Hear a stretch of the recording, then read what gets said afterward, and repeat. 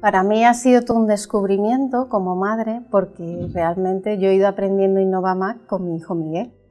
Y yo simplemente me siento al lado y aprendo con él, pero es él el que resuelve.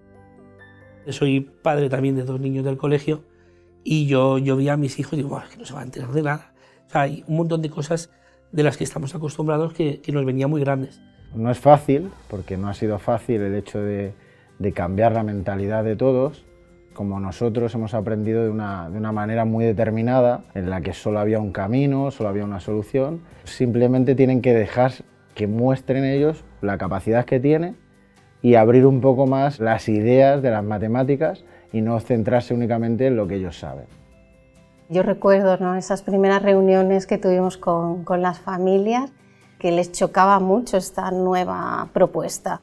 Pues esto al final es un proceso de cambio para todos y hay que aceptar que van a surgir inquietudes, dudas, preocupaciones y que nosotros desde el cole las tenemos que sostener y las tenemos que recoger.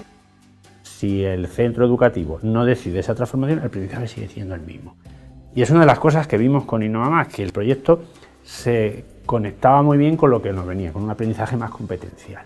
Hemos acompañado a las familias, les explicamos qué es lo que vamos a trabajar, cómo lo vamos a trabajar y sobre todo nosotros hemos insistido en la importancia que tiene lo manipulativo en la educación infantil.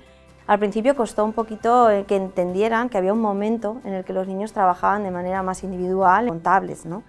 Pero sí que vieron poquito a poco, este tipo de propuesta les permitía seguir trabajando conceptos en casa, luego vieron pues, que, que, era más que necesario, era algo muy importante. Se empiezan a dar cuenta de la agilidad y las habilidades que están cogiendo los alumnos que antes no tenían.